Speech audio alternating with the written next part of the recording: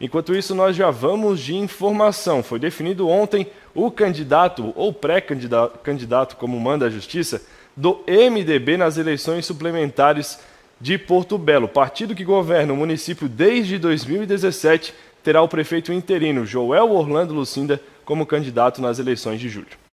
É oficial. O prefeito interino de Porto Belo, Joel Orlando Lucinda, será o candidato do MDB nas eleições suplementares de julho. Atendendo aí ao voto do nosso diretório, né, com 34 votos, o Joel é o nosso candidato.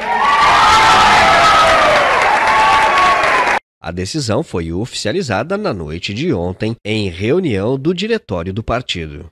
A votação ocorreu na Câmara de Vereadores. Entre os 45 votantes, membros da executiva MDBista, o interino foi escolhido por 35. Com o apoio da ampla maioria, Lucinda conquistou o direito de ser o candidato do 15, partido que governa a cidade desde 2017. O PL do ex-vice-prefeito Elias Cabral também realizou a sua convenção. Conforme ocorreu em 2020, MDB e PL seguirão juntos. O nome para representar os liberalistas foi do atual presidente da Câmara, Ailton Neckel de Souza. Conforme indica a legislação, Joel e Ailton seguem como pré-candidatos ao governo portobelense. Até o momento, não há movimentações de oposição à dupla. Tudo indica que, provavelmente, a eleição suplementar terá chapa única.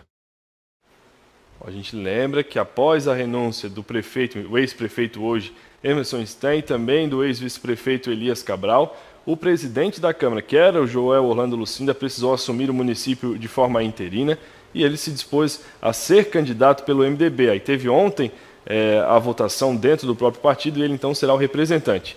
Quem assumiu o poder legislativo com a saída do Joel Orlando Lucinda foi o vereador Ailton Neckel de Souza, que a gente viu aí nas imagens e que deve ser o candidato a vice-prefeito pelo PL na chapa formada com um MDB. Então, dois vereadores devem deixar aí é, o Poder Legislativo de forma definitiva para concorrer nas eleições em julho, eleições suplementares de Porto Belo, que, claro, terá uma mega cobertura do VIP Social.